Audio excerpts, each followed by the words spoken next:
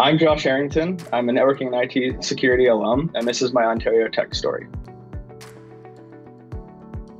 I was sitting in a class at another university talking to a friend about how much I enjoyed hacking, and he had mentioned Ontario Tech.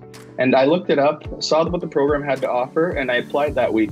What I found is that the coursework at any university is, is largely the same, but what I enjoyed and what I found the most value in at Ontario Tech was the ability to build relationships with my peers and with the professors who were teaching me.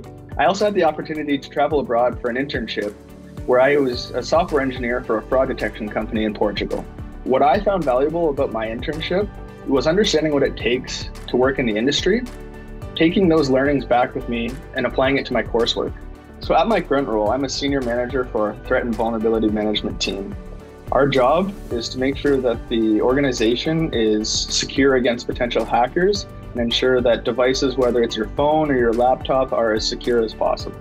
So what excites me about cybersecurity is it's always changing. Because it's always changing, I have to stay up to date with emerging trends and technologies to make sure that I'm keeping the company that I work for secure.